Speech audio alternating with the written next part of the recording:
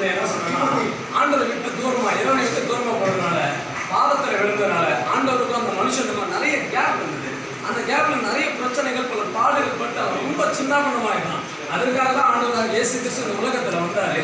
அந்த இயேசு கிறிஸ்து என் வாழ்க்கையில் கூட அநேக அற்புதங்களை செய்தாரு. ரொம்ப ஆசீர்வாதமா இன்னைக்கு நான் இருக்கிறேன் என்னுடைய வாழ்க்கையில் கூட மிகப்பெரிய பிரச்சனைலாம் இருந்தது. இயேசு என் வாழ்க்கையை மாத்தினாரு. ஏன் உங்க வாழ்க்கையை மாத்தினாரு? நீங்க அந்த இயேசு ஏற்றுக்கொள்ளக்கூடாது?